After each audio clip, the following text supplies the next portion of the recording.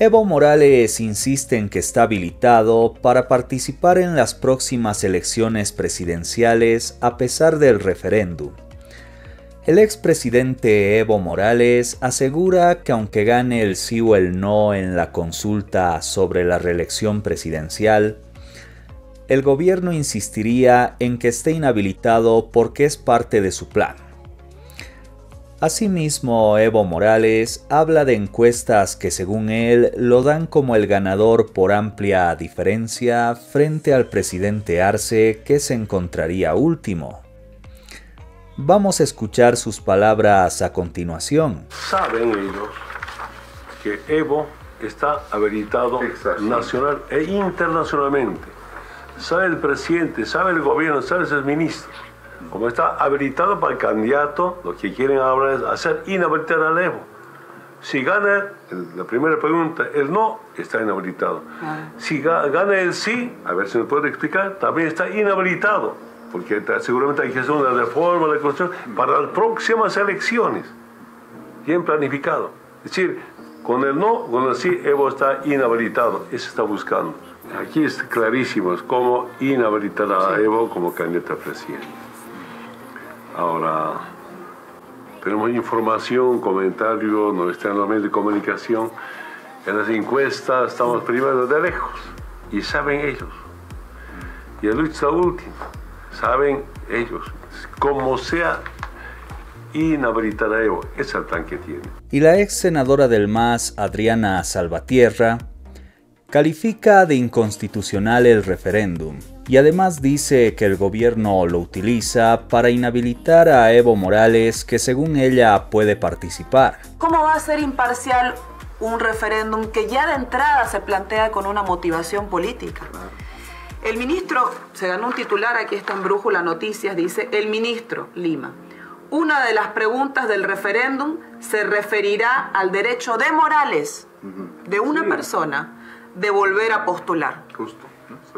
Y este titular fue muestra que el proceso de referéndum no tiene ningún intento de imparcialidad. En Ecuador, eh, Ramiro, presidente, hicieron la misma estrategia. Convocaron en 2018 a un referéndum para discutir específicamente si se podía, si se podía plantear o no una reelección presidencial.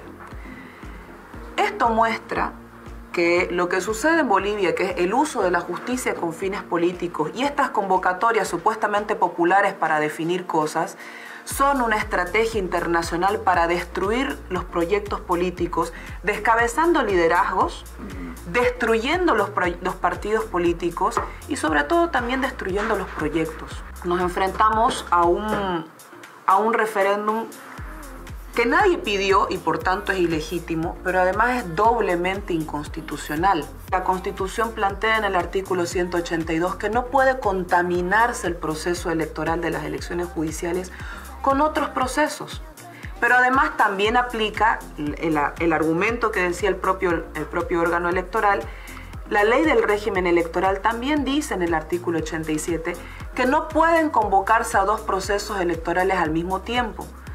Si eso lo aplicaron para las primarias, ¿por qué no lo quieren aplicar para el referéndum, la propuesta del referéndum y esta elección, siendo que la Constitución manda que no se pueden vincular dos procesos al mismo tiempo? El artículo 411 establece en el parágrafo segundo que si se plantea una reforma parcial a la Constitución, esta tiene que ser sometida a aprobación por dos tercios de la Asamblea Legislativa. Cualquier reforma parcial a la Constitución requiere dos tercios de la Asamblea.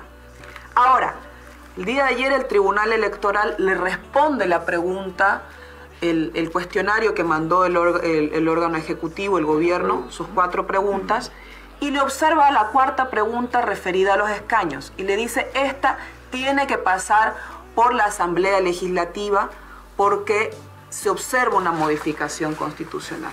Bueno, y si la de los 130 escaños dice que requiere una, modificación constitucional, ¿por qué no lo aplican ese mismo criterio la pregunta 1? La pregunta 1, claro, la pregunta 1 dice, ¿está usted de acuerdo en que la reelección establecida constitucionalmente por una sola vez eh, de manera continua para presidente y vicepresidente sea ampliada para incorporar la reelección de manera discontinua, lo cual implicaría modificar la Constitución. Si la cuarta pregunta sobre los escaños implica modificar la Constitución y la, de, la rechaza el órgano electoral, ¿por qué no rechaza también la primera que explícitamente dice que va a modificar la Constitución? Creo que el solo hecho de convocar a un referéndum para discutir, como dijo el propio ministro en su, conferencia de prensa, si el compañero Evo Morales eh, se presenta o no se presenta a las elecciones, ya, de hecho, eso da por descartado que el compañero Evo está habilitado. Listo. Por su parte, el dirigente de los interculturales, el señor Vidal Gómez, señaló que Evo Morales habla tanto del referéndum porque le tiene miedo a sus resultados. Tanto miedo como en el 21F, lo que provocó, señaló, que escapara del país. Eso dijo el dirigente intercultural que también aseguró que se van a defender los resultados de este referéndum que se tiene que llevar a cabo a fin de este año. Saludamos la decisión del hermano presidente de ir a un referéndum. Queremos decirle al expresidente, no le tenga miedo. ¿no? Tal vez él está traumado con lo que pasó el 2000, eh, el, perdón, el 21F. Hoy la consulta no es si va a ser o, no él. La consulta es de, de, que si un presidente más adelante ¿no? tenga elección continua o descontinua, no nada que ver de Evo Morales. Si fuera de Evo Morales sería más fácil para nosotros, para las organizaciones sociales. Hoy el 80% no lo quiere a Evo Morales. ¿no? Han sugerido, hemos escuchado, Andrónico Rodríguez, hay muchos gente joven, gente que goza con proyección hacia un futuro, pero que no es Evo Morales. Evo Morales es la misma cara de una dictadura sindical que ha tenido por más de 14 años a la, dirigencia sometida. Hoy la dirigencia toma sus propias determinaciones y queremos decirle en Congreso ampliados, hemos querido debatir, hemos querido ir en un Congreso de unidad, pero Evo Morales tiene miedo porque sabe que no puede ganar en ningún Congreso legal y legítimo. Y nosotros como organizaciones sociales vamos a hacer respetar este referéndum, pero también el referéndum que ha llevado adelante el 21 de febrero. Por lo tanto, que no se equivoque, él no es, no puede ser y no va a ser candidato ¿no? a presidente del Estado plurinacional las organizaciones sociales, el movimiento al socialismo, vamos a ganar las siguientes elecciones, pero con nuevos cuadros políticos que decidirán los congresos y los ampliados del movimiento al socialismo. Bueno, mientras tanto, para la diputada de Comunidad Ciudadana, la señora María José Salazar, llevar a cabo este referéndum es una maniobra distractiva de parte del gobierno para poder cambiar la dirección de atención de la población, para eh, desconcentrarla de lo que es el problema, la falta de diésel y la falta de dólares en el país también. Es una distracción del gobierno, pero también Evo Morales está haciéndose la víctima sabiendo que este referéndum lo va a favorecer a él. Es decir, esta es una disputa falsa entre Evo y Arce sobre el referéndum, porque va a haber un pasanaco entre masistas de manera intercalada y también la oscura intención de modificar la constitución política del Estado cuando ya ha habido un referéndum sobre el, 21 eh, de febrero de 2016 que dice que no puede ser re, re, reelegido. Entonces, en este sentido, también la CIDH ha tenido un pronunciamiento y ya está cerrado el tema de referéndum. ¿Para qué lo quieren volver a abrir? Para volver a para modificar la constitución y favorecer claramente a Evo Morales, aunque él se haga la víctima. En estos momentos el tema referéndum es un disfraz es una pantomima y es una distracción para que nos olvidemos de los problemas económicos que estamos atravesando y para, lo que Luis Arce debería dar soluciones inmediatas a esta crisis de falta de dólares, de falta de diésel y combustible. Tras la observación del órgano electoral a las cuatro preguntas del referéndum, la oposición considera que es una derrota para el gobierno y ahora acudirán a los magistrados autoprorrogados para legalizar el referéndum, pero no cree que alcancen los tiempos antes del 1 de septiembre. Nació muerto porque realmente muestra la confusión grave de este gobierno. Trata de vivir de humo político, de vender humo político para sobrevivir y no hacer frente a temas de fondo importantes como la crisis económica. TCP realmente es el órgano más comprometido con el movimiento al socialismo, con el arcismo como tal. Seguramente van a hacer lo que les pidan, pero en todo caso aquí no van a dar los plazos. Si hasta el primero de septiembre no emiten el decreto que llame a referéndum, simplemente es inviable que vayan casados con la elección judicial. El arcismo confía en que el Tribunal Constitucional hará la interpretación normativa y dirá si las preguntas corregidas con observaciones del órgano electoral viabilizarán o no el referéndum. Vamos a solamente sostener lo que eh, se dice eh, eh, las observaciones técnicas que ha realizado el Tribunal Supremo Electoral. Ahora está pasando al control de constitucionalidad, lo que es al Tribunal Constitucional Plurinacional, y vamos a esperar los resultados que nos van a dar, porque ellos son las máximas autoridades quienes interpretan la constitución política del Estado y las normas que tiene nuestro país. El Tribunal Supremo Electoral rechazó la solicitud del Movimiento al Socialismo del ala Evista de acompañar el Congreso en Villatunari. Equipo jurídico del Movimiento al Socialismo del área radical afirmó que asumirán acciones para que se revierta esta decisión. El único mandato del tribunal es que debe supervisar cuando las organizaciones políticas se lo piden. Por lo tanto, el tribunal está en un abierto incumplimiento de deberes que puede ser pasible de responsabilidad administrativa y penal por parte de los eh, vocales del Tribunal Supremo Electoral. Nosotros vamos a recurrir a la impugnación como corresponde, vamos a activar todo lo que los mecanismos legales nos los permiten y vamos a analizar seriamente responsabilidad, de responsabilizar en la vía procesal a los vocales del Tribunal Supremo Electoral. El diputado del ala renovadora, Zacarías Laura, se refirió a este tema y afirmó que esa determinación debe ser respetada. Respetamos lo que es la posición del Tribunal Supremo Electoral. Es un órgano independiente, el cual ha visto que el Congreso que quiere llevar el mes de septiembre, pues bueno, no está cumpliendo lo que es el reglamento interno que tiene el mismo eh, movimiento al socialismo y por esa razón no han decidido no hacer el acompañamiento correspondiente a este Congreso. Mientras que la diputada opositora Alejandra Camargo criticó las peleas de los sectores arcistas y evistas del movimiento del socialismo por ese tema. El MAS es la prueba clara y contundente de la degradación y la crisis política y de liderazgos, porque estamos hablando de un partido político que ni siquiera cumple sus propios estatutos, un partido político que no ha renovado su directiva, que no ha podido generar nuevos liderazgos.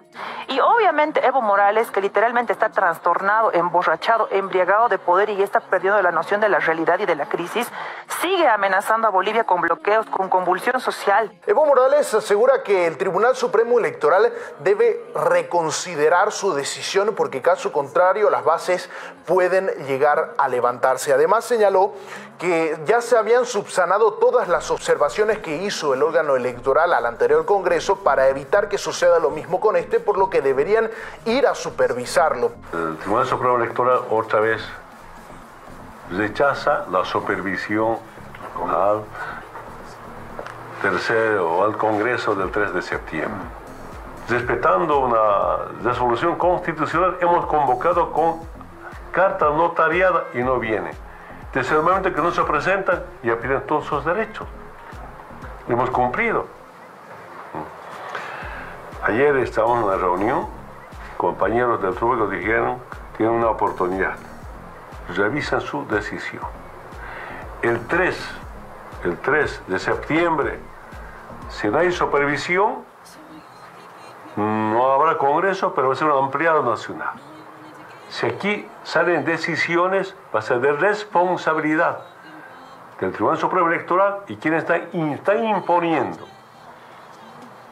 mediante segunda, tercera persona, información oficial, tenemos mucha presión de la Casa Grande del Pueblo. Está totalmente confirmado eso. Hubo una resolución de la Federación Departamental Única de Trabajadores Campesinos de La Paz, Tupac Katari. Ellos han señalado que están pidiendo en un ampliado del alto que se llevó a cabo la renuncia inmediata del presidente Luis Arce y esto por dividir a múltiples organizaciones sociales con las decisiones eh, que está tomando con el afán de proscribir al movimiento al socialismo. Aseguran que se van a movilizar si no renuncia el presidente Luis Arce. Declaramos en estado de emergencia por la crisis social, político, económico que atraviesa el país, declarar enemigo a Javier Alejo y compañía por ser pongos políticos, coordinadores sociales políticos del gobierno de Luis Arce Catacora, que viene violando sistemáticamente todos los derechos, también el magno ampliado de la Federación Departamental La Paz Tupacatari ha determinado llevar una gran marcha el día 2 de septiembre. Hermanos, para el día 2 todas las organizaciones están convocando marcha a nivel nacional. Por lo tanto, nosotros como Federación Departamental vamos a convocar para el día lunes 2 de septiembre del presente año a una gran marcha departamental para recuperar nuestra institución y para expresar sobre nuestras demandas que hemos planteado como Federación Departamental al Gobierno Central. En esa resolución hemos exigido a que renuncie al presidente del Estado Plurinacional de Bolivia, Kumaraki, Ucan Gobierno Central o Asamblea Legislativa tiene que convocar en brevedad posible a elecciones nacionales para que ya tengamos otro nuevo gobierno. El dirigente de los interculturales, el señor Vidal Gómez, respondió a estas amenazas de movilizaciones del de, eh, sector de los Tupas Qatari que llevaron a cabo su ampliado en el Alto. El señor Vidal Gómez asegura que no le tienen miedo a las amenazas de convulsión de parte del bloque evista y de hecho celebra que el Tribunal Supremo Electoral haya decidido no asistir, no supervisar el Congreso del ala evista del movimiento al socialismo el próximo 3 de septiembre. Sí queremos pedir al órgano electoral es que debe reconocer eh, a Grover García, Julia Ramos y Fidel Surco y todo el directorio elegido en la ciudad del Alto. ¿no? Nosotros hemos hecho invitaciones como Pacto de Unidad al señor Evo Morales, hemos invitado y si ustedes han visto, más de un millón han sido parte de la inauguración del Congreso llevado en la ciudad del Alto. Un Congreso orgánico, con la participación de las bases, de los militantes, de los simpatizantes de igual manera. Y por supuesto, saludamos el rechazo, eh, pero también necesitamos que el órgano electoral reconozca, no vamos a permitir que el movimiento al socialismo proscriba eh, para las elecciones del 2025. De los supuestos eh, que han convocado al Congreso del MAS, no nos preocupa, ¿no? porque ellos han amenazado más de 10 veces y no han podido realizar la convocatoria que ellos llaman tener. Lo que sí el gobierno debe hacer es sentarse con los gremiales, con el transporte. Y vamos a hablar a continuación de lo que ha dicho el presidente Luis Arce. Se ha referido al tema de la subvención y que debido a que el Estado subvenciona los hidrocarburos en el país, es que falta dinero para poder hacer obras, para poder hacer puentes, entre otras cosas que necesita y pide ahora la población. Y Luis Arce aseguró que por eso es que van a poner en consulta del pueblo en un referéndum el hecho de si sigue o no la subvención de los combustibles que está haciendo tanto daño a la economía. Nosotros el 6 de agosto dimos un mensaje muy claro. Hay un problema que no solamente vive Bolivia, está viviendo todo el planeta por el alza del petróleo a nivel mundial, que de un promedio de 40 dólares, supongamos, en la década pasada, hoy estamos enfrentando precios promedios de 80 dólares el barril de petróleo por lo tanto el diésel y la gasolina son más caros en el planeta. Por eso hemos querido que el pueblo decida, que el pueblo decida si quieren que levantemos gradualmente la subvención para no tener un efecto grande en la economía. Pero lo que sí es cierto es que de esta manera vamos a ir a todo con lo que está ocurriendo en el planeta, en el mundo y en nuestro país. Y de esta manera vamos a tener también, porque miren ustedes, aquí hay muchos puentes por hacer, muchas obras por hacer. Hay que asfaltar y, hacer carreteras. Hay que construir más puentes. Hay que hacer más escuelas. Hay que ser más hospitales. Tantas cosas, hermanos, que por dedicarnos solamente a subvencionar el diésel y la gasolina, ya no podemos hacer eso, hermanos. Si liberamos los recursos, podemos hacer eso, pues. Todo lo que pide ese pueblo boliviano, podemos hacerlo.